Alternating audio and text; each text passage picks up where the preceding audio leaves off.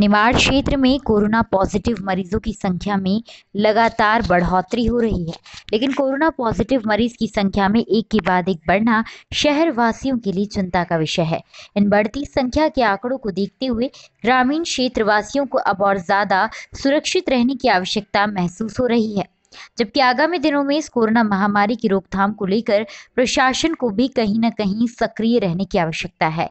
खरगोन ज़िले के सनावद में विगत दिनों कोरोना पॉजिटिव मरीज़ होने की पुष्टि हुई थी, जिसके बाद नगर में कोरोना के कहर ने एक और अन्य सदस्य को पॉजिटिव कर दिया है। यह मामला सनावत की अंबेडकर गली का है। इसके अलावा ग्राम सेलदा में एक एवं ग्राम बेड़िया में एक पॉजिटिव मरीज़ मिला है। जिसके चलते नगर के संक्रमित मिलने वाले सदस्यों के निवास स्थान सहित गलियों को प्रशासन ने कंटेनमेंट एरिया बनाकर सील कर दिया है।